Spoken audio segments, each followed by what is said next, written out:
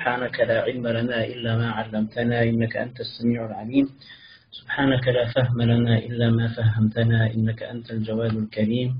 ربنا لا تزغ قلوبنا بعد إذ هديتنا وهب لنا من لدنك رحمة إنك أنت الوهاب.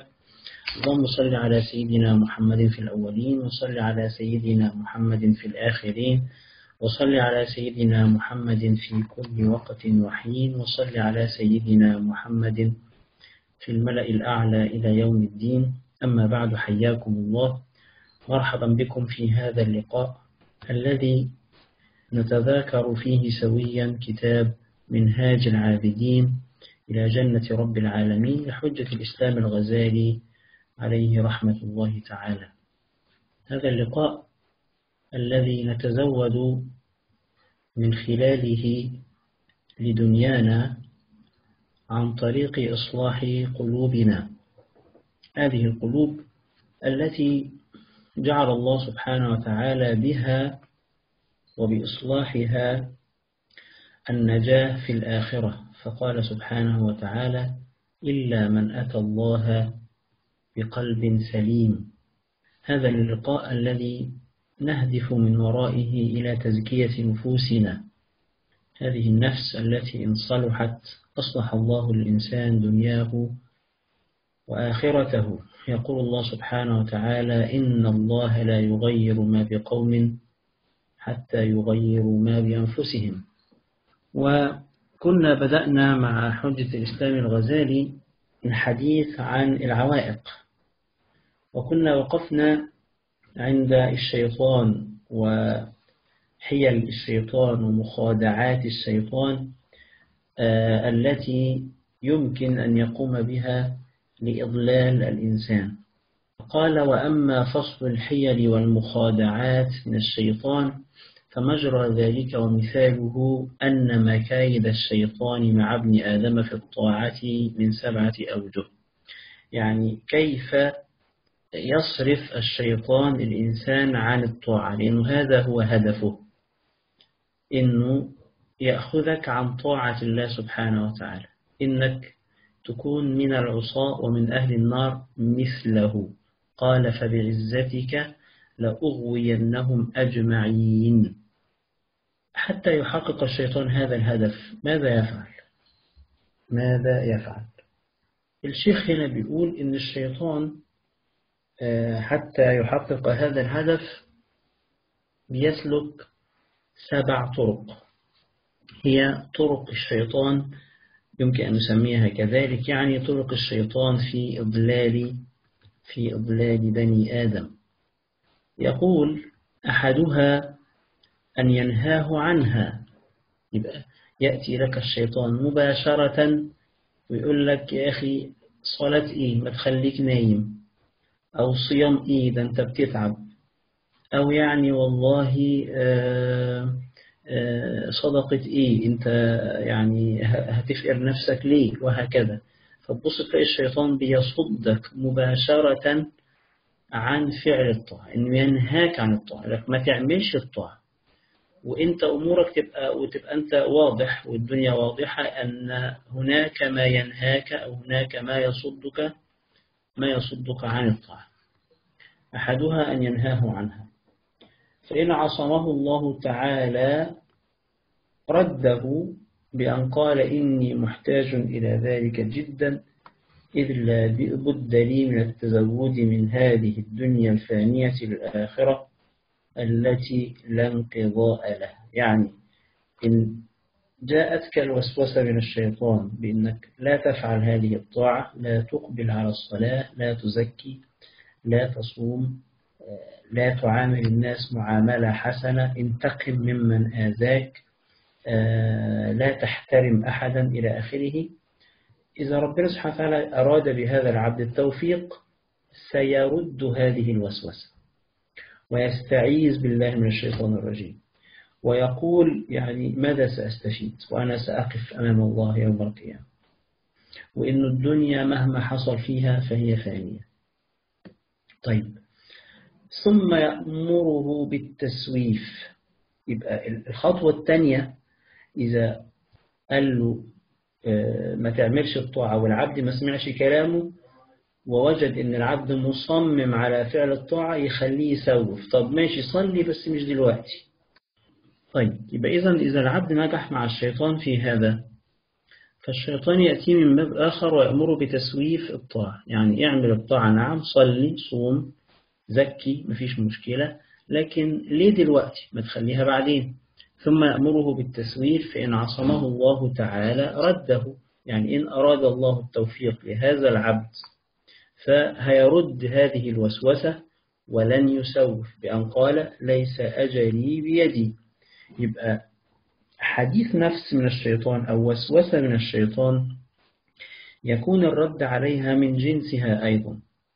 فالشيطان يقول لك والله سوف فالرد عليه يكون بفكرة مضادة وهي يعني ما الذي يضمن لي أن أعيش إلى أول الشهر أو الأسبوع القادم أو كذا؟ ما الذي يقول ليس أجلي بيدي على أني إن سوفت عمل اليوم إلى غد فعمل غد متى أعمله؟ يعني أنت هتسوف العمل بتاع النهاردة لبكرة طب ما هو بكرة في واجب تاني.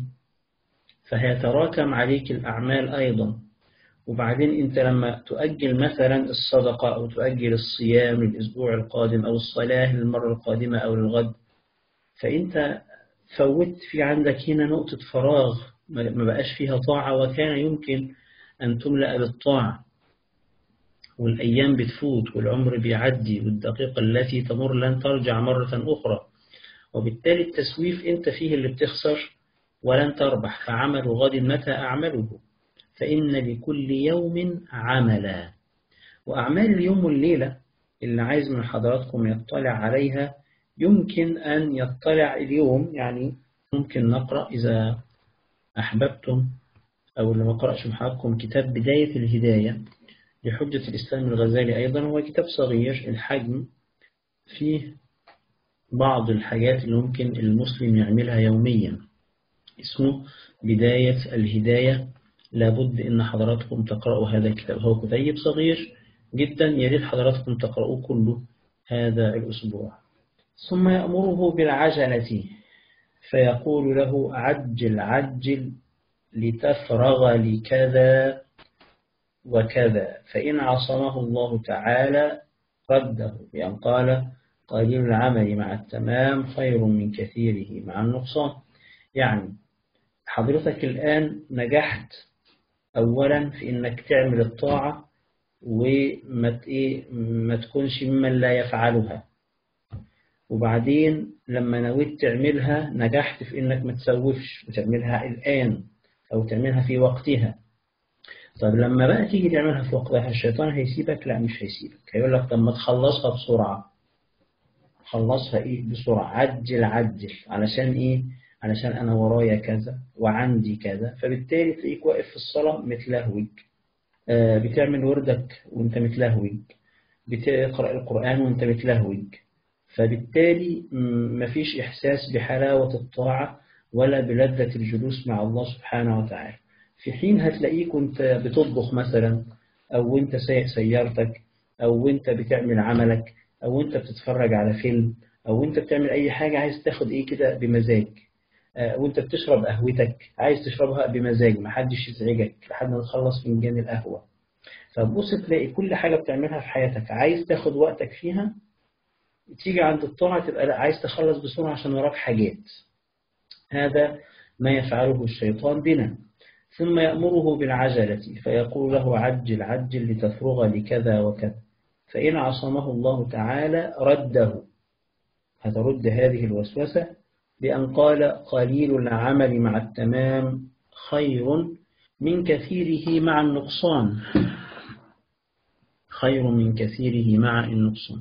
يعني لما تعمل عمل بسيط ويعني تعطيه حقه ركعتين هتصليهم وانت قلبك حاضر فيهم مع الله سبحانه وتعالى وبتقرأ سورة الفاتحة كده بتأني بتتفكر في معانيها وبتقرأ بعدها سورة قصيرة من القرآن وبتقول سبحان ربي الأعلى ولا سبحان ربي العظيم. وأنت بتتفكر في معناها أثرها على نفسك هيكون أعظم من عشر ركعات مجرد حركات للجسد فقط. فلما تلاقي نفسك عايز تتعجل يعني إيه رد نفسك أو رد على هذه الوسوسة بأن تقول لأ العمل مع التمام خير من العمل الكثير. مع النقصان. فلا لن أعجل. هاخد وقتي في العبادة هاخد وقتي في الورد هاخد وقتي في الصلاة كما يأخذ الإنسان وقته في كل شيء. ثم يأمره بإسمام العمل مراءة للناس. يعني كمان إذا لقاك بقى إيه؟ يعني هتقعد وهتاخد وقتك في العمل يأتيك من هذا الباب. يقول لك أيوة طول شوية كمان. يعني هو اللي هيأمرك المرة دي بإيه؟ بإنك تطول. علشان الناس تقول عليك يا سلام ده أنت إنسان خاشع ده أنت إنسان تقي ده أنت إنسان كذا فتبقى عمال تعامل الناس في عبادتك وفي علاقتك بالله سبحانه وتعالى. لذلك الواحد فينا إذا نوى العمل وبدأ في العمل عليه أنه يبدأ عمله وهو ناوي وجه الله سبحانه وتعالى فإذا أتاه خاطر الرياء أثناء العمل لا يعطل عمله ولا يستعجل ولا ينهي عمله بل يكون كما هو. يعني ما تخليش خاطر الرياء يجعلك تعمل حاجة بزيادة ولا حاجة بنقصان. بعض الناس يقول لك أنا علشان الرياء أنا هسرع في صلاتي عشان الناس ما إيه أنا إيه جاي الرياء إن أنا خاشع فأنا لأ هبين بقى للناس إني مش خاشع فيعمل العكس. آه فعمل العمل من أجل الناس شرك. وترك العمل من أجل الناس رياء. فهو الناس طالما دخلوا في العمل بيفسد. فأنت الحل مش إنك تعمل حاجة في العمل لا تطويل ولا تقصير. الحل إنك تخرج الناس من بالك نهائيا وتستمر في عملك زي ما أنت. ثم يأمره بإتمام العمل مراءة للناس فإن عصمه الله تعالى رده بأن قال ما الذي أعمل بمراءة الناس؟ أفلا يكفيني رؤية الله تعالى؟ يعني رؤية الناس هتعمل لي إيه؟ الناس هيعملوا لي إيه الناس هيفيدوني بإيه؟ الناس لن ينفعوني ولن يضروني. فألا يكفيني رؤية الله تعالى؟ فيستحضر الإنسان رؤية الله سبحانه وتعالى أثناء العمل. ثم يريد أن يوقعه في العجب يعني أنت مريت من العقبات دي كلها عقبة العجلة فجالك وأنت متأني قال لك أيوة يعني تأنى شوية كمان أو أنت كده كويس علشان الناس تقول عليك كذا فأنت طردت هذا. يجي لك بقى بعد ما تنجح في هذه العقبة يقول لك يا سلام ده أنا, ده أنا إنسان عظيم. ده أنا ما شاء الله علي أنا الحمد لله لما قررت العمل عملته الآن. وبعدين لما جالي الشيطان وقال لي سوف قلت لا مش هسوفه. فالحمد لله عملته في وقته وانتصرت على نفسي وعلى الشيطان. وبعدين الحمد لله خدت وقتي في عملي. وبعدين الحمد لله سألت الله الإخلاص. فإيه فتبص تلاقي نفسك أنت بتنسب لنفسك الفضل في نجاح العمل أو الفضل في استمرارك في العمل. فتقع في حفرة أخرى اسمها حفرة العجب. آه فالشيطان لما تتم هذه الأمور يوقعها في العجب. والعبد اللي عايز علاقته بالله سبحانه وتعالى تكون على الوجه اللائق لا ينظر لأعماله على إنه هو الذي قام بها. وإنما هذه الأعمال وفقه الله سبحانه وتعالى إليها. ولو شاء الله سبحانه وتعالى إنه لا يوفق العبد لهذا ما قام بأي عمل.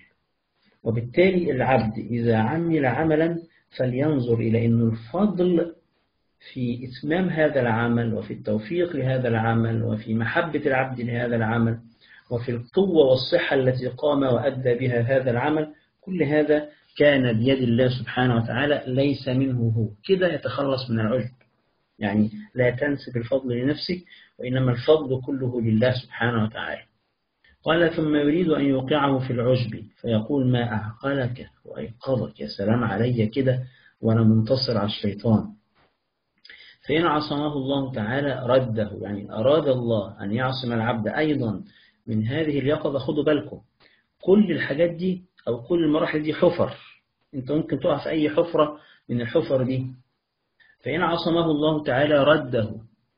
إذا ربنا سبحانه وتعالى أراد أن يعصم عبده وإنه ما يقعش في الحفرة ديت هيرد هذا الخاطر وهذا الوسواس أيضا بأن قال المنة لله تعالى في ذلك دون. يعني الفضل في توفيقي للعمل. هو الله سبحانه وتعالى يرجع إلى الله وليس إلى نفسي ولا إلى قوتي ولا إلى ذكائي ولا إلى حرصي ولكن الفضل كله لله سبحانه وتعالى.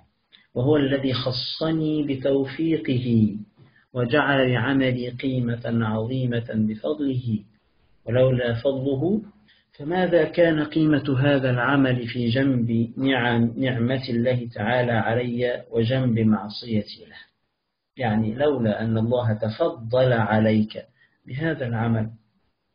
يعني هذا العمل رغم إنك عملته رغم إنه بفضل الله سبحانه وتعالى فهو أيضا بجوار النعم الكثيرة التي أنعمها الله سبحانه وتعالى عليك لا قيمة له.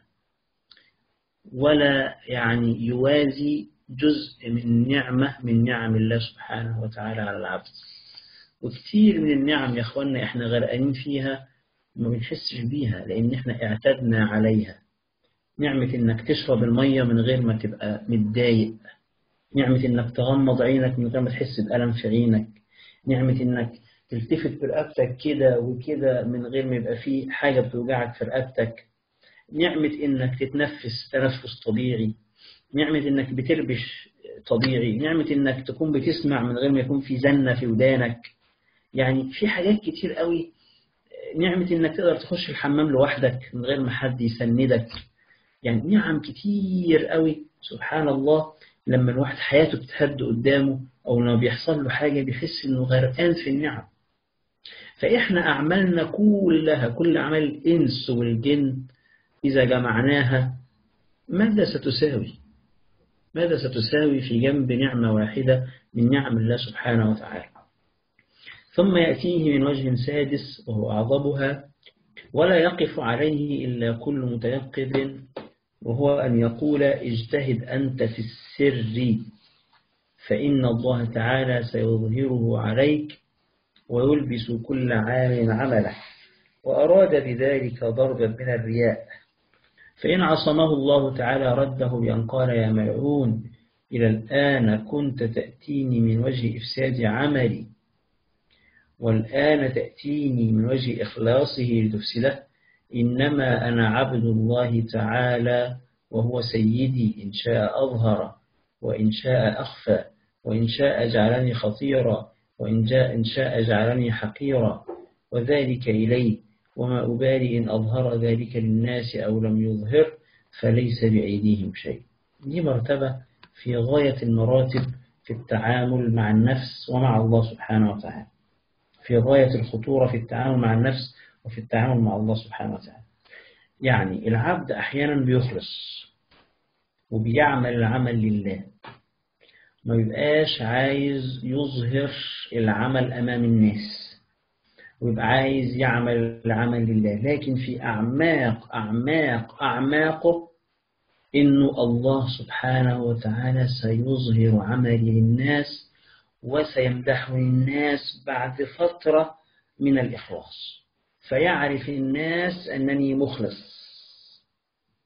آه يعني أنت في أعماقك تريد أن يظهر عملك بعد إخفاء الله سبحانه وتعالى له. فيعرف الناس بإخلاصك ويعرف الناس بأعمالك وهذا ضرب من ضروب الرياء. يعني أنت كأنك حين تعمل العمل تطلب من الله سبحانه وتعالى أنه يظهر مكانتك عند الناس. أنت الآن في الرياء الصريح العبد هو الذي يطلب إظهار مكانته فيظهر طاعته بنفسه ويعامل الناس بنفسه. آه في هذا الضرب من الرياء الخفي العبد كأنه يطلب من الله أن يظهر مكانته عند الناس. يعني يا رب أنا لن أعامل الناس. أنت أظهر مكانتي عند الناس. ده ضرب من الرياء. أنت ما زال الناس في قلبك وعقلك ما زالوا شاغلينك. وطالما الناس ما زالوا شاغلينك وبتفكر فيهم فأنت لسه لم تتخلص من الرياء بعد لم تتخلص من معاملة الناس بعد. زي كده الواحد ما يبقى بينه وبين نفسه يقول إيه؟ ربنا هيظهرني عليهم إن شاء الله ومسيرهم يعرفوا إن شاء الله. طب انت انت يعني ما يعرفوا ولا ما يعرفوش؟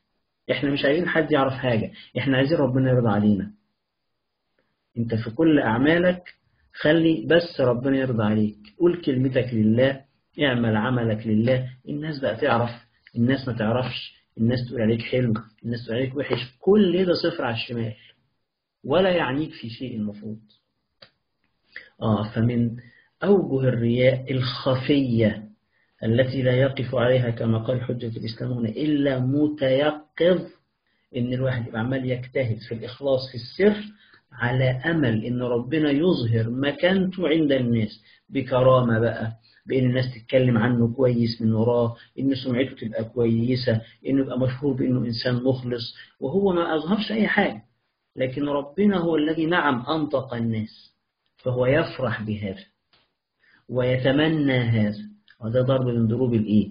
من ضروب الرياء طيب لو أنا ما اجتهدتش في إظهار إخلاصي وأعمالي وأظهرها الله سبحانه وتعالى إيه السلوك الصحيح؟ إذا ده حصل إني أسأل الله الستر إني أسأل الله أن أكون أفضل مما يظنون وأن يغفر لي ما لا يعلمون. مش أفرح إن الناس عرفت إن الحمد لله كويس. لا أنا, أنا لا أعامل الناس أصلا. يفترض أن العبد لا ينظر للناس أصلا. وإظهار عبد من العباد بصورة من الصور قدام الناس سواء في صورة الإنسان الطيب أو الإنسان العالم أو الإنسان الخير أو الإنسان اللي عنده كرامات أو أي صورة من الصور ربنا هيظهرك بها عند الناس دي اختبار لك وللناس. اختبار لك وللناس. هل ستصير عبدا للناس؟ ولا ستستمر في عبوديتك لله سبحانه وتعالى. طيب إذا ضرب من ضروب الرياء. إنك تبقى حابب إن ربنا يعرف الناس بمكانتك. آه لذلك ورد في الأحاديث مدح الأخفياء الأتقياء الأنقياء الذين إذا حضروا لم يعرفوا وإذا غابوا لم يفتقدوا. إذا ده وجه إيه؟ خفي.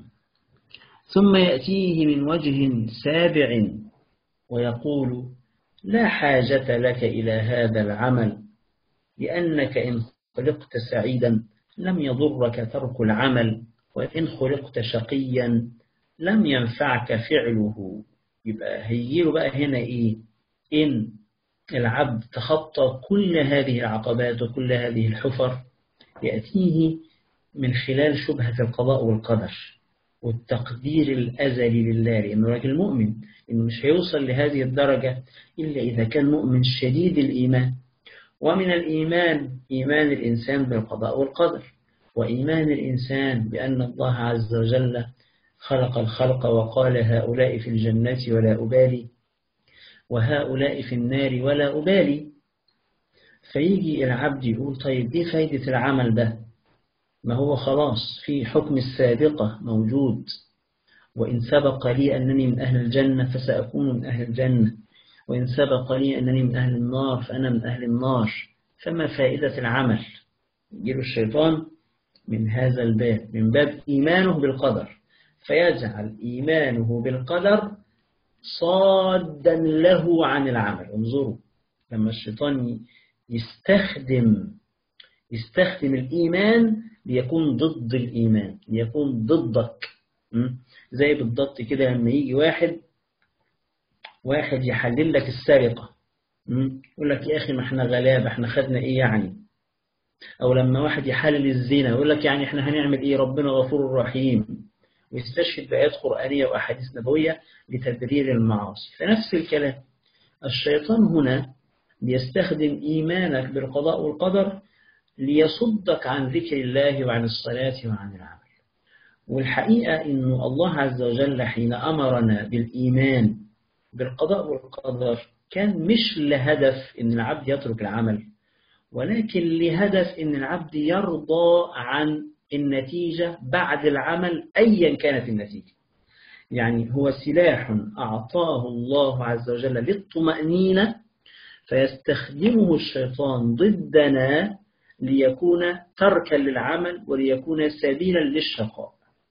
يعني كأنه سلاح.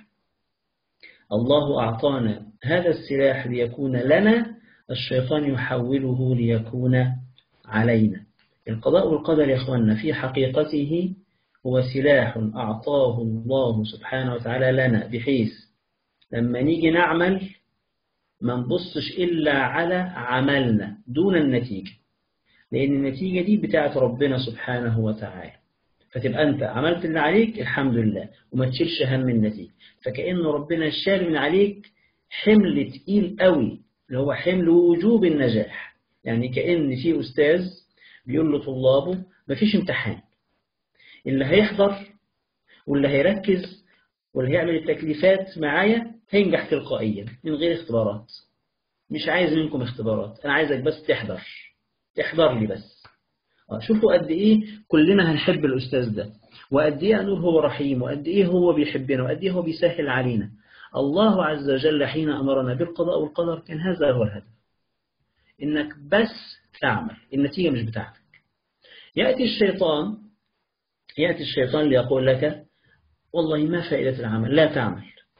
علشان يأخذك من رحمة الله سبحانه وتعالى ويوقعك في سخط الله. بدل ما ربنا بيعاملك باللطف حيث لم يطلب منك النتيجة يأتي الشيطان ليدخلك في من يعاملهم الله سبحانه وتعالى باللعنة والغضب حتى يعني إيه يخرجك من عداد الملطوف بهم والمرحومين.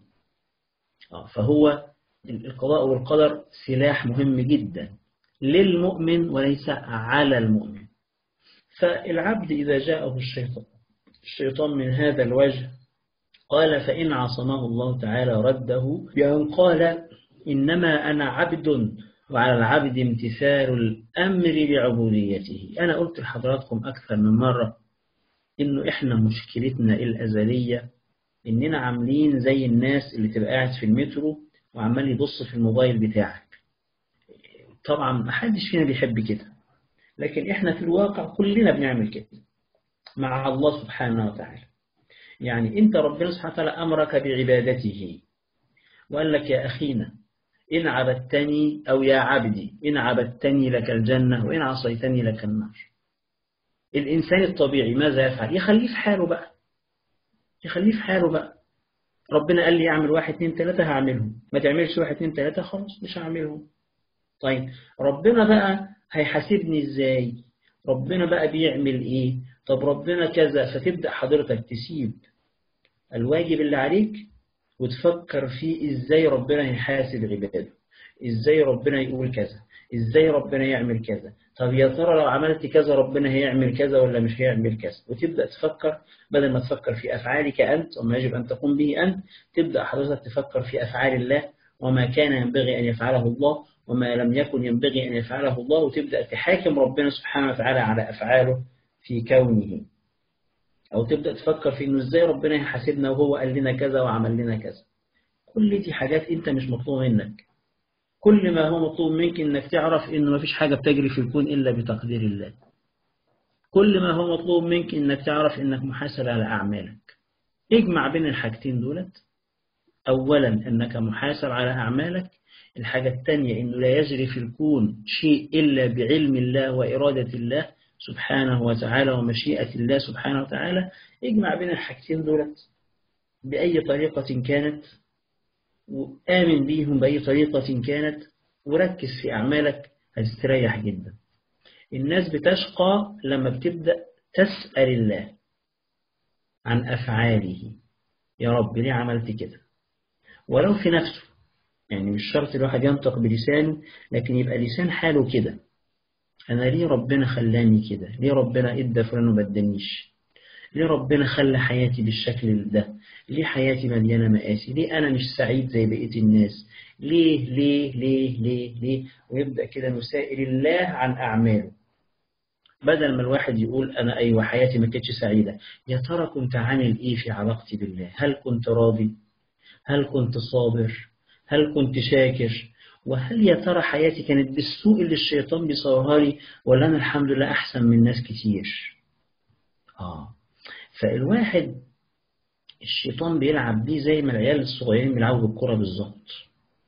بحيث يوقعه في الحزن ويوقعه في المرض ويوقعه في الإيه؟ في كل معنى سيء والعياذ بالله. فالقصد يا اخوانا إنه الواحد فينا المفروض يركز في أفعاله هو فيما يجب عليه هو. إيه اللي ربنا هيعمله؟ واللي ربنا قرره. دي حاجة مش شغلك. لا تفكر فيها. طيب بأن قال إنما أنا عبد وعلى العبد امتثال الأمر لعبوديته والرب أعلم بربوبيته. شأن الربوبية أنت لا تعلمه فليه تفكر فيه. يعني أنت ليه تقعد تفكر ليه ربنا خلق أطفال بيتألموا؟ ليه ربنا خلق الأمراض؟ ليه؟ يا عم أنت مالك؟ أنت ربنا قال لك والله أنت مع نفسك كده هوت كعبد مأمور بأنك تطيع. وإن أصابك بلاء عليك الصبر. دي العبودية المطلوبة منك. آه لأن شأن الربوبية غير شأن العبودية. أنت لست رب. حتى تفهم كيف يتصرف الله في كونه. والرب أعلم بربوبيته شؤون الربوبية عظيمة. أنت لا تدرك جزء منها قطرة. قل لو كان البحر مدادا لكلمات ربي لنفذ البحر قبل أن تنفذ كلمات ربي ولو جئنا بمثله مددا.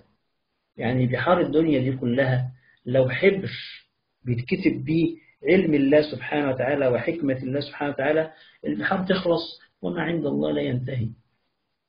فأنت العبد الضعيف الحقير عايز يعرف كيف يفعل الله وكيف يعني يسير الله وكيف يدبر الله كونه. وده مش هيحصل. وده لن يكون. فلذلك النبي صلى الله عليه وسلم قال إذا ذكر القدر فأمسكوا والقدر هو إيه؟ هو فعل الله في الكون. القدر هو فعل الله في الكون. العبد بيبقى عايز يعرف ليه ربنا عمل كده. ليه ربنا تصرف كذا؟ ليه ربنا قدر كذا؟ ليه في كذا؟ فيبقى عايز يفهم أفعال الله. فأنت نقول لك بص في موبايلك. مالكش دعوة بأفعال الله. أنت فقط علاقتك بأفعال الله إذا كانت بالنسبة لك أنت خير تشكر. بالنسبة لك أنت شر تصبر. وشكرا على كده ونقطة ومن أول السطر. طيب والرب أعلم بربوبيته يحكم ما يشاء ويفعل ما يريد.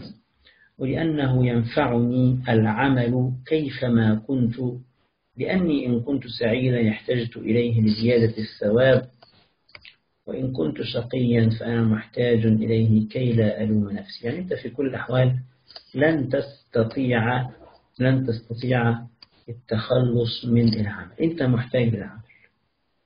إن كنت ممن كتب الله لهم السعادة فأنت محتاج للعمل أيضا حتى يزيد ثوابك وترتفع درجاتك عند الله. وإن كنت شقيا فأنت أيضا محتاج للعمل لعل الله عز وجل يعني يرفع عنك هذا الشقاء. لعل الله سبحانه وتعالى يعني ينظر لك نظر رحمة.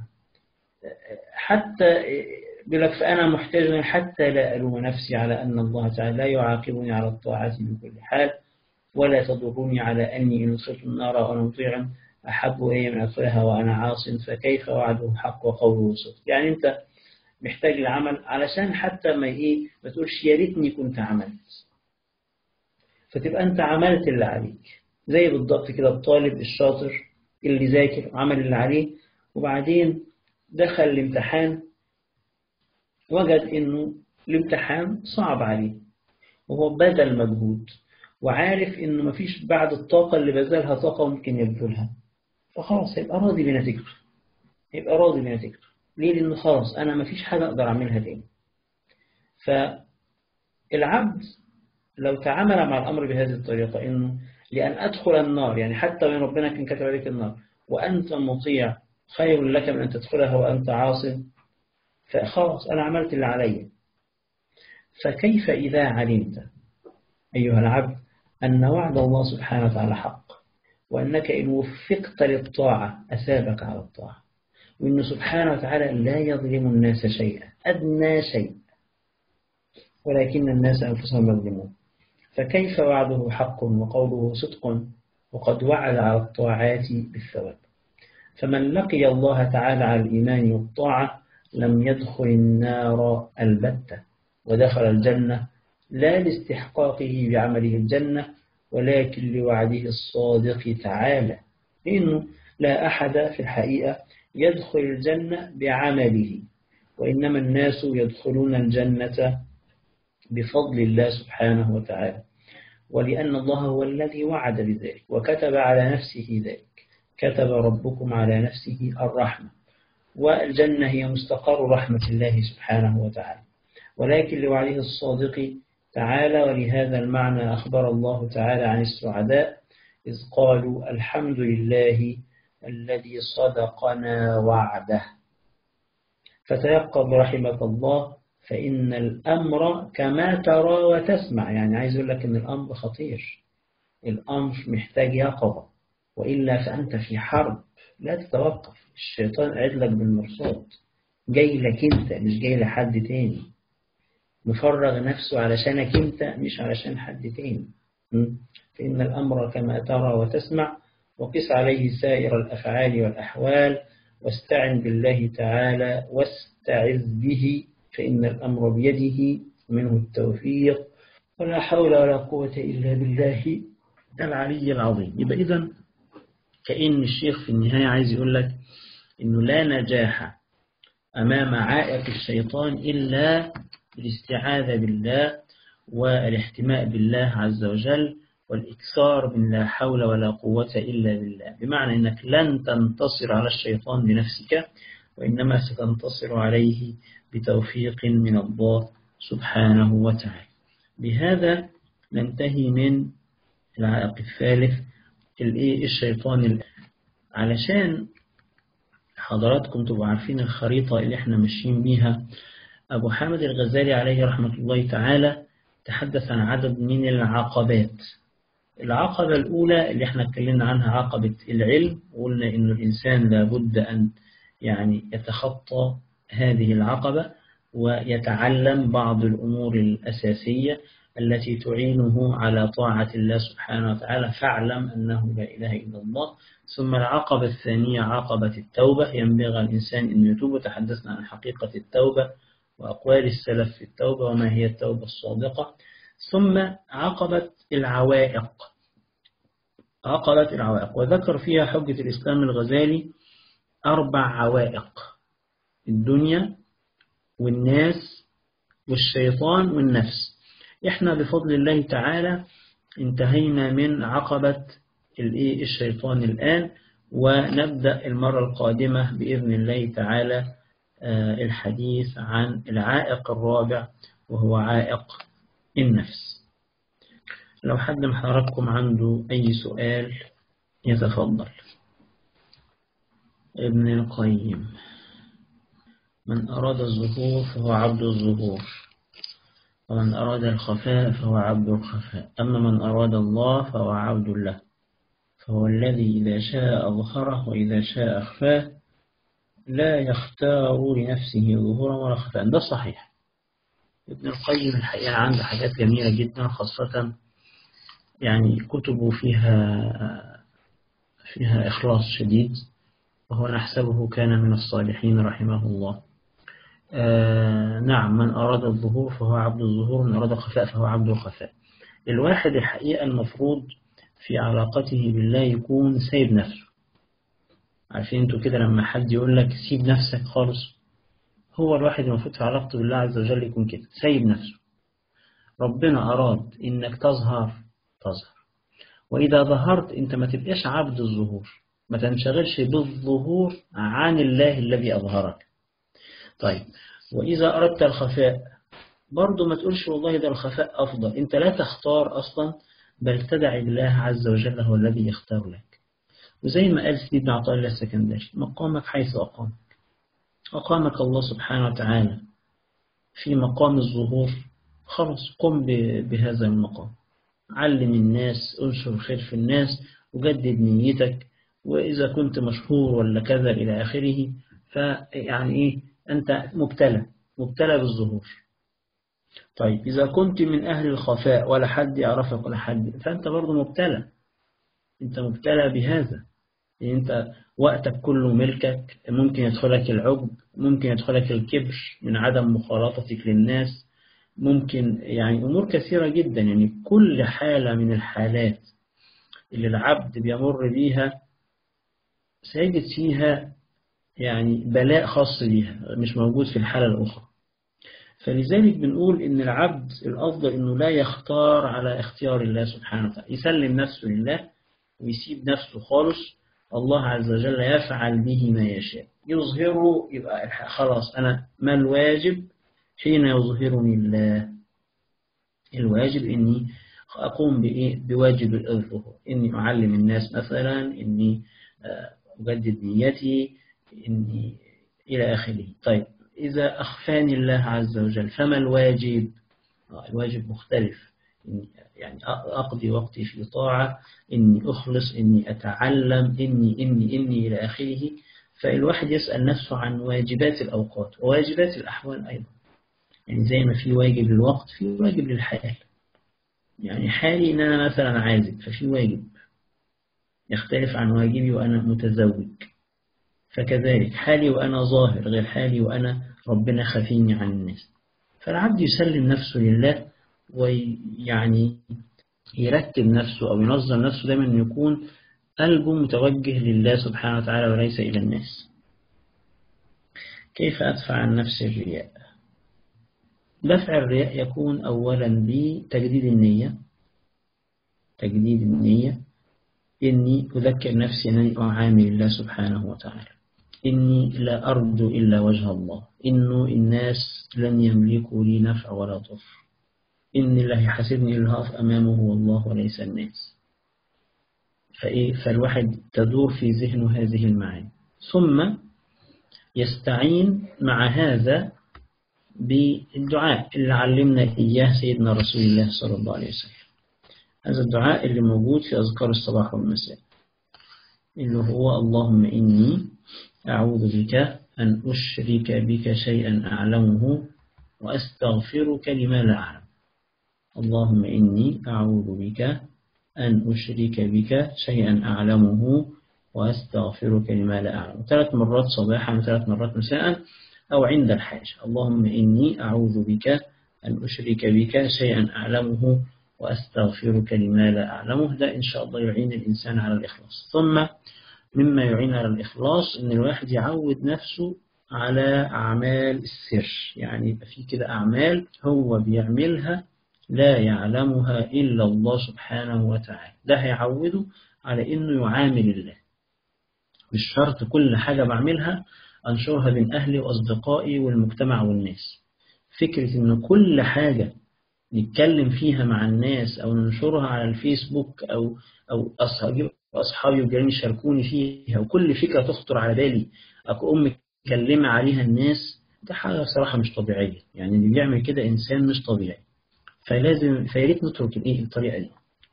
ونتعود على إن إحنا نعامل الله وحده. أوقات كتير أحس إن الناس في بالي.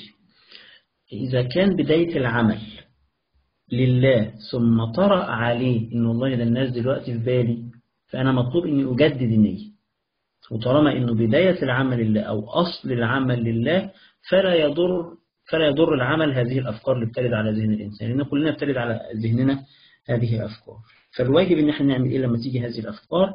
نذكر نفسنا في إننا بنعمل العمل لا ونستمر في العمل. يعني لا نقطع العمل أبدا لأجل إن إحنا خايفين من الرياء مثلا.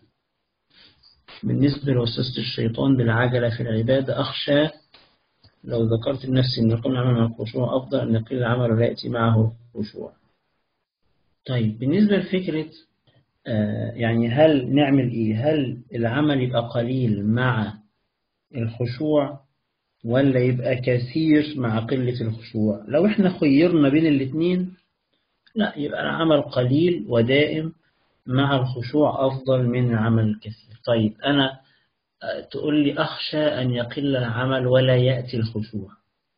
طيب إذا الخشوع ما أتاش يبقى أكثر من العمل. يبقى الواحد فينا ممكن يبقى إيه؟ فقيه نفسه زي ما بنقول كده فقيه نفسي. أنا بركز على الخشوع. ووجدت أن هذا الخشوع لا يأتي إلا مع القليل من العمل خلاص. يبقى أنا ده طريقي خلاص. طب وجدت نفسي لما قللت الخشوع برضه ما جاش. يبقى أطلب الخشوع وزود العمل على أساس أنه إن شاء الله يأتي معه مع زيادة العمل زيادة في الخشوع.